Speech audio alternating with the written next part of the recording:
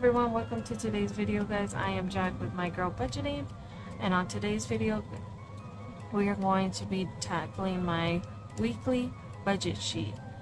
Um, so this is basically based off of my weekly paid income that I do get as an employee.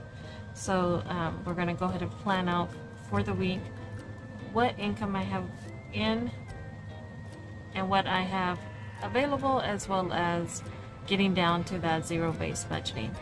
This budget sheet is available on my Etsy guys. It is the Budget 101 starter kit that I do have available now on my Etsy. You get this along with multiple pages of let me go ahead and so it is the uh, starter kit budget and I just printed this on the other sheet because I already used up one, this one in here. But as a budget starter kit. You basically have your checklist of your bank statement budget sheet spend no no.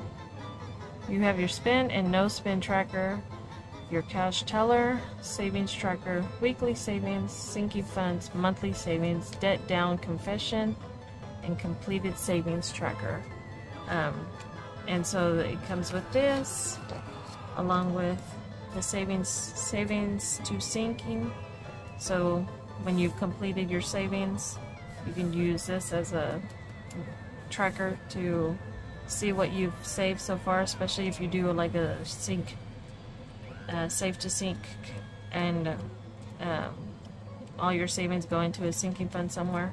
This is a good way to track it. You have your bank statement to start that process of looking at your three months of bank statements to categorize the things that you want to eliminate. And then you also have a debt down confession. Basically, it's all your what you want to do with your debt. It's kind of a little graph that you can use to set that goal um, for your debt, and then you can break it down into each of these. And then you have your budget sheet. This one, of course, has been used and then we have monthly savings. So this is from each month how much you've saved. Because um, I know I like to track how much I saved in a month on a monthly basis total. So this really helps you. Then you have your cash teller. So if you get your wallet, your variable expenses that you're going to pull from your bank, this is, can break down your cash for that. Then you have your sinking fund. So this is just a way to list out your sinking funds, the goal, and start off in the months for that. Then you have your savings in place. So basically you list out all your savings and how much you want to put to each of these savings. Um, this really helps whenever you have your, like I'll show you here shortly, how much I'll have left in savings and I can basically break that money down even further into each of the savings that I'm going to be playing and then we have more sinking funds. This is on a month-to-month -month track to see how much you're either building up or, you know, if you're deducting. Weekly savings, so it's basically giving you a slot uh, to track like your day-to-day -day savings, but I, um, I made it as a weekly, so you can do it for the week. I mean, this one has lasted me the whole month, especially if I cut back on savings. Um, so you could use this for the whole month and then the remainder of the months. This I printed it off on the wrong months, but that's okay. So basically that is it guys. So that's what we're going to work on here for our budget sheet. Okay. So let me put this away. If you are new to my channel and wondering what do I do and what I'm about, I am Jack with My Girl Budgeting and basically I am working my way to become debt free with that, I do fund savings and budget myself along with keeping myself accountable by doing things like this, but also doing things within the community. That way I stay focused and stay on track to become um, debt-free, but also not live paycheck to paycheck. Okay, guys, so let's go ahead and get started. I'm going to go ahead and try to zoom in. I have a new kind of setup, so I'm able to zoom in without messing with anything, so it's really nice. But anyways, guys, we're going to go ahead and I have mine. And this one I printed front and back. This will go into my binder once I've uh, got it ready for you guys. So we have 10, 12. I'm a this is zero based budgeting, so I am going to every dollar assign a, the my dollars to every category until I hit that total of a zero. Okay. So for income, we have um, my pay, my weekly pay, and then what we had, um, not from my son. He, he does help with the monthly payment, so this is what he paid for. So we're going to do 267,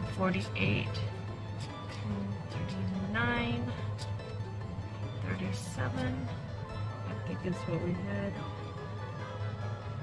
Oh, no, 39.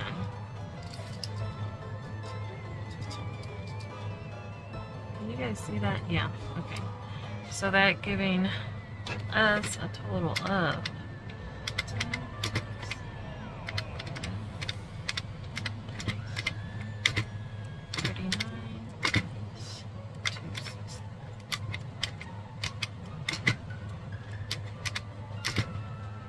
that gives me the 130487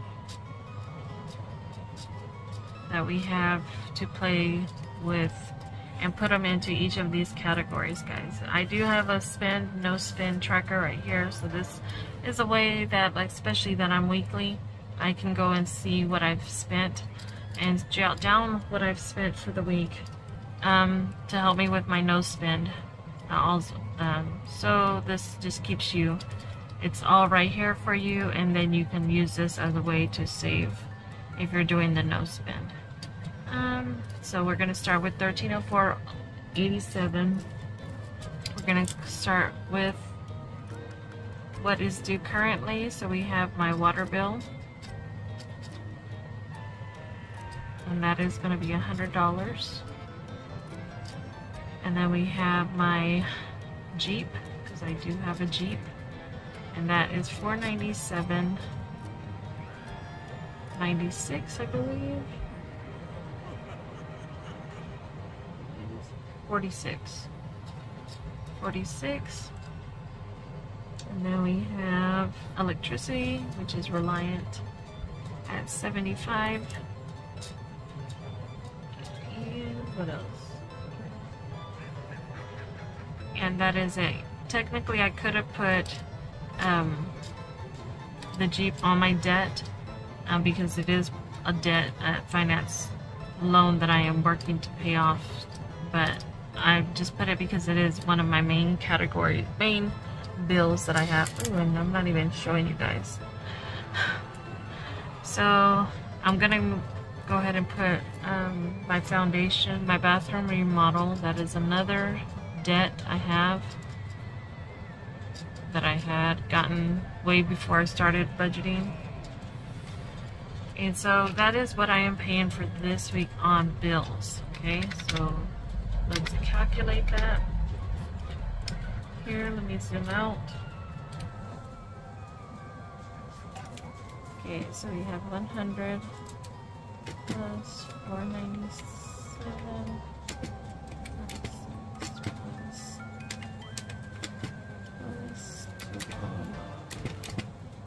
twos on this is horrible.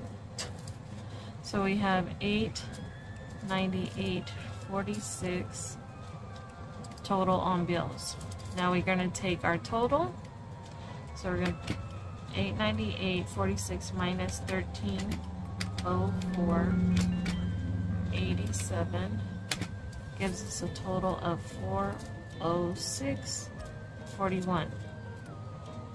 So from there, we're to go into our debt and our the cap the only credit card I have that is due this week is my Capital One, and that is going to be $72.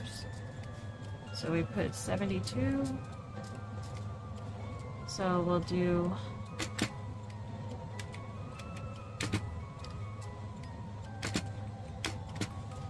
So that gives me a 334. Keep forgetting to zoom in, guys. 334.41. For sorry if you guys are hearing motorcycles. It is Saturday. It is a busy, beautiful day, so it sounds like motorcycle bikers are out enjoying the weather. Alright, so that means 334.41 is going to be going into my expenses. Now, as you can see, guys, one thing I don't have in here on this one is I don't have a savings category. Typically I would, or people would have sinking funds and savings. What I do with this is basically I break down my wallet for the expenses that I have. That means these are my spend. This is the money I'm going to be allowed to spend as far as cash. And then um, whatever I'm left over is where I'm going to put my savings here at the bottom once I zero balance my budgeting sheet.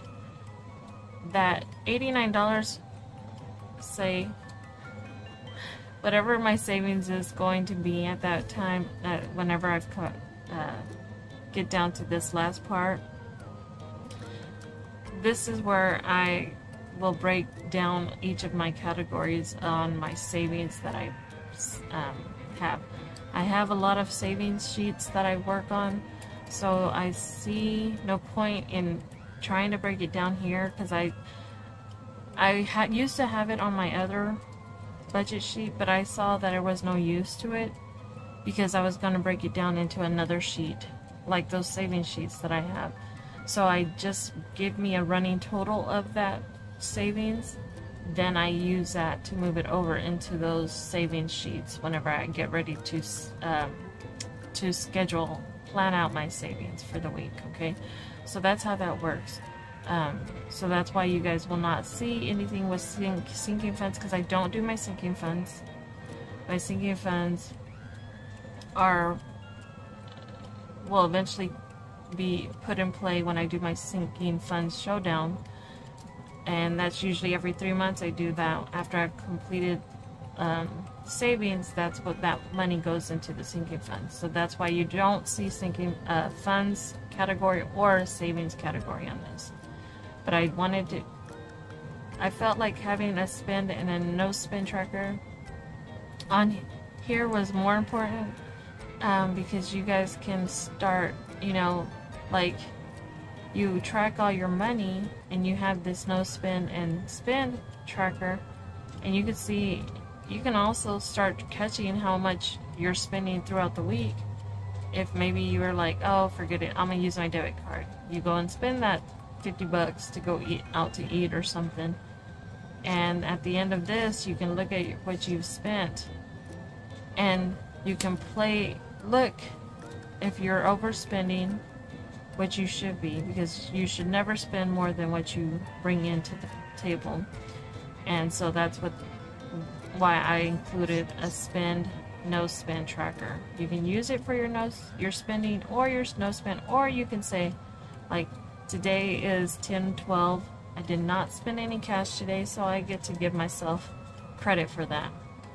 Or if you went to say you went to Starbucks and you went and bought you a coffee then you spent six dollars there. You can track it that for the dates and put your dates here. And so this is just more why I created it this way for for budgeters. Um, it's just a new way to look at what you've even if you are bi-weekly you can still track your spending within that or monthly you know just use it because you, you have everything right here on one page for you okay Alright, so let's move on. So now we're to plan out my um, my wallet. So, what we're to do is we have my expenses are to be groceries for my wallet, and I'm giving myself $100 for that. My gas for the week is $40. Then we have my pets and I give them 25 and I'm giving myself uh, 20 uh, for dining out.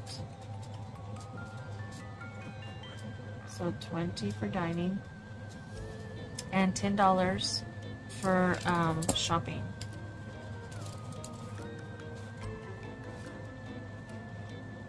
I need to do better with this zoom and zoom out. shopping is getting $10. And this gives you, this starts the process of getting you, giving you that res restraint. You're like, this is where you can start restraining yourself from overspending or pulling out that debit card. I hardly ever use my debit card unless I mean I'm like, you know, taking that risk. But if I don't have the cash for it, I will not buy it. So this just gives, helps you keep it controlled at this point when you have this. It might not seem like a lot for $10, but you have the $20 for dining. You might not use all the $20 and you might find that you, well, I'm going to spend $12 on whatever I'm buying at the store or something. At least you know that that's there. Okay, this is the money you can play with. You can always adjust it. Maybe you don't spend $100, but you need, you know, $50 for your gas, and you only spend $80 for gas, I mean, for groceries, then you can move at that $20 to any of these categories. This is always adjustable. It just depends on your needs and what you feel like you need, and you will start learning, you know, how much you will need. I mean, I might not use $25 on my pets this week, but I have it just in case. This is more for just in case. It's typically for their snacks. Um, if I need like cat litter for my my cats, um, this is usually where I use put that money toward. But if I don't use it, then I can always adjust it to something else. And then whatever you can also at the end of this, if you don't use any of that money, you roll that money over into your savings.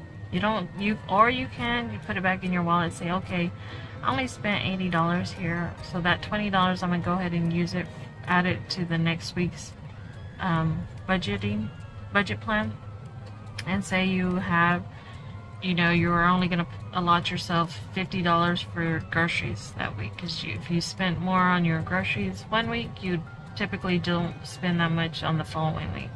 So you spend $50 and that's just probably because you decide to make a meal out of the $80 that you didn't meal plan for.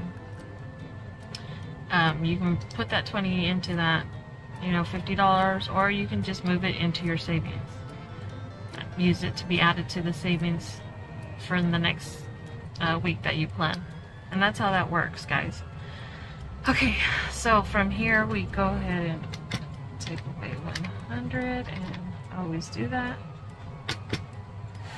40, 20, 20 25, 20, and then 10. Okay, guys.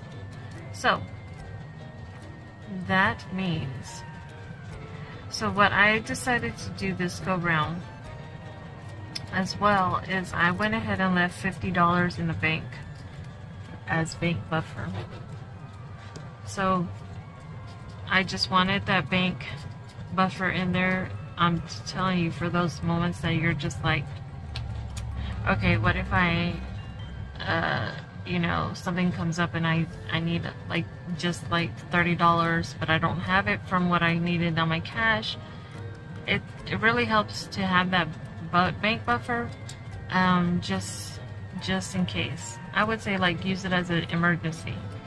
You're not gonna touch it and then you can if you don't use that $50 you can always pull that and put it towards savings. And so that's what I'm doing for this one. I'm gonna go ahead and do $50 that I left in the bank.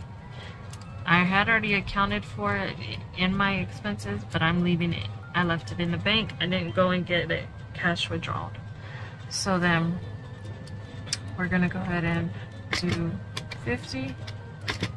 And so that gives me a total. So we have, this is one,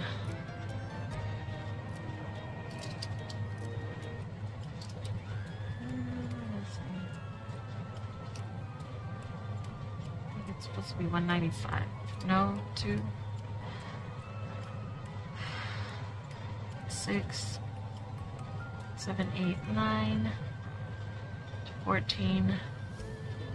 So 245, that's right. 245 is what we have.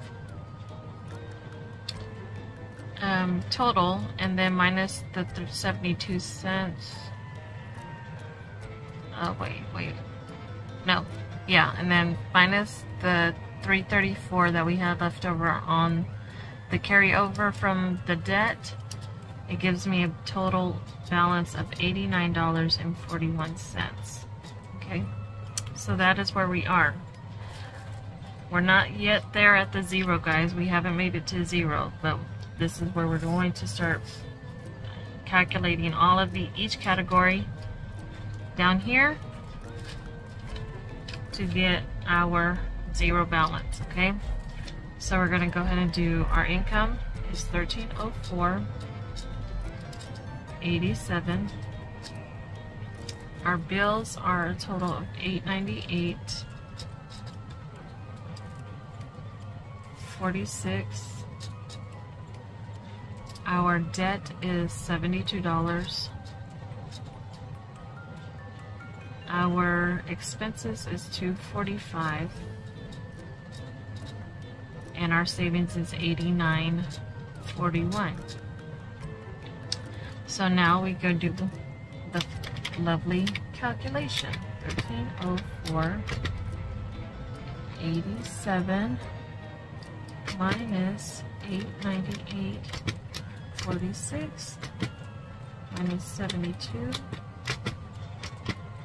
minus 245 and then we are at 8941 oh guys sorry so we are at 8941 after I've calculated all of those let me do it over here. I don't know that you can see it. It's very it's not in view which is where we are here at the savings. So now I take my 89.41 of savings and we are at a total of zero dollars. So our total balance was 13. Oh, and that's for no spin, no and spend. So you can use this last one is for no spend or spend and you can use that to track also, if you did um, go outside of your expenses here, this will help you see how much you went over on your expenses, on your budgeting, okay? And so that is what I'm going to go and use to go pull from the bank. So I'm going to get my 245 for my wallet, well, minus the 50, so that's 195 for my wallet and then plus the $89 for my savings this week. So that is all the money I'm going to be applying this week. So typically I try to do my mini savings Monday and the hop as well as um, my Halloween savings and then if I can get if I can stretch it then I'll add my uh, $20 for my Thursday randomizer. So then I will plan this out. This will be where I have to plan out my savings in this coming week. And I'll have a video for that on the next one. But yeah guys, so this is my weekly budget plan. Use this as a guide. I know I gave you guys on my last video for uh, the episode 2 of budgeting of how to budget or budgeting 101 um, I did give y'all a simple budget sheet that you can follow um, and you can just use this as a guide to determine how you're going to play out your income for the week. Or bi-weekly or however often you get paid. Um, but yeah. I hope you guys enjoyed this video. If you did give it a thumbs up. Let's go ahead and do hashtag sheet for today's video. Just lets me know you guys um, watched all the way up to this point. And don't forget to hit that subscribe button, guys, so that way you can take part in what I do within my channel. Um, I'm gonna go ahead and give you back your day. Much love to you all, and I will see you in the next one. Bye.